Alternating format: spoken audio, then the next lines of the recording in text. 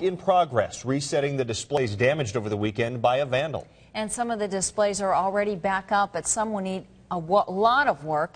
KCCI's Marcus McIntosh was there when the mangled parts were loaded up and taken away to be repaired. Marcus? Cynthia and Eric, disappointment still lingers less than a week after vandalism caused some $25,000 in damage to the Jolly Holiday Lights display at Waterworks Park. But through disappointment comes hope as a Central Iowa business has stepped up to do what it can to get Jolly Holiday Lights up to full speed. Are you ready? Yep. Ed Langard and Ed Lineback, two longtime Make-A-Wish volunteers. The two are ready to get the twisted and bent Jolly Holiday Lights display pieces onto the flatbed and en route to being repaired it seems like every year something happens out here that uh, you know hurts us as far as granting an additional wish, wish that we might be able to do.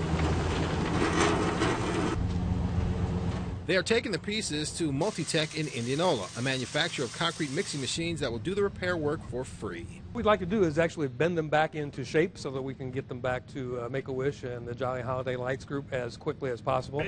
Yep. Wignall says with what needs to be done to make the proper repairs, Multitech has the expertise and the desire to get it done.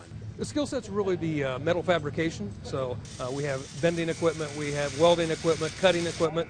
So what we'll do is we'll use the, the line art that they sent to us and pictures of the displays before they were destroyed, and we'll just actually bend them and shape them back into uh, as close to that fashion as we can. Time is not on Wignall and Multitech's side.